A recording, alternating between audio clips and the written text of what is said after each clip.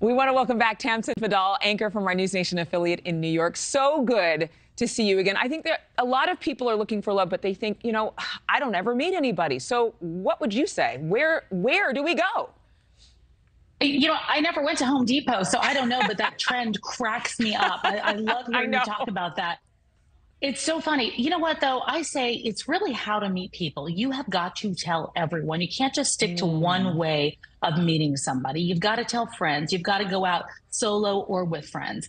Don't get committed to one thing. Get out of your inner circle. So I say, places like restaurants, running clubs, taking classes, volunteering there's a club for everything nowadays. There's book clubs, there's wine clubs, there's there's everything you can think of. So go where your interests are because it's not going to happen at home watching Netflix. I can promise you that. Home Depot might work. I just don't have any interest, you know, in in in shopping for lumber. But if you're interested in home repair, Home Depot could definitely work for you. Yeah, I mean, for some women, they're very uh, crafty and they could get away with that. I would be there right. and try to fake it and be like, "Yes, I'm looking for a new toilet." I, I wouldn't even know what to say.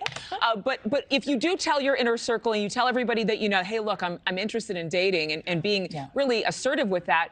So many people get asked why are you single? Why are you still single? What's the right response? That that question it, still gives me shivers because I heard it at every single family event. Because I think what happens when we hear those words, "Why are you so, still single?" We hear, "What is wrong with you?" Why exactly in reality, most people aren't asking that. So I've learned, and after my divorce, I learned to simply say, Thank you for asking me that. I'm out there and I'm ready to meet somebody. I am open. And I think if you own it and you simply just be confident and sit in that, sometimes people are asking because they have a person in mind for you. Other times they just want to know that you're okay. And it can really feel empowering just to say thank you. I mean, it's 2023. We're not defined by our relationship status. Yeah. Yeah. How do you make sure you're not like just running away from being single? You know, you're not content with yourself, so you're trying to fill a void. Yeah, it's such a good question because if you're running away from being single, that means you're looking for a quick fix, right? That you want to stop that feeling of being sad or being lonely, or you just want to date for a holiday dinner. And to me, that's not the time to start dating.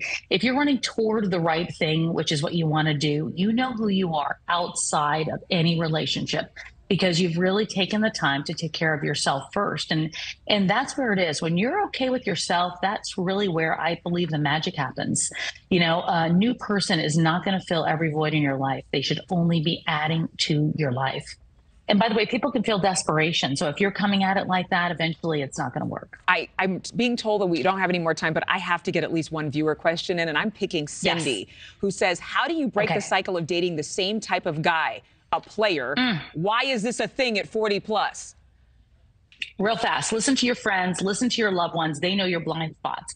Get real about your patterns. If you're dating the same type of guy, the patterns are clear and say yes to people you would not consider. You might be surprised. Tamsen, always wonderful to see you. I look forward to our next chat. See you again soon. Thank you for watching. Go to newsnationnow.com to find News Nation on your television provider. And don't forget to click the red subscribe button below to get more of News Nation's fact driven, unbiased coverage.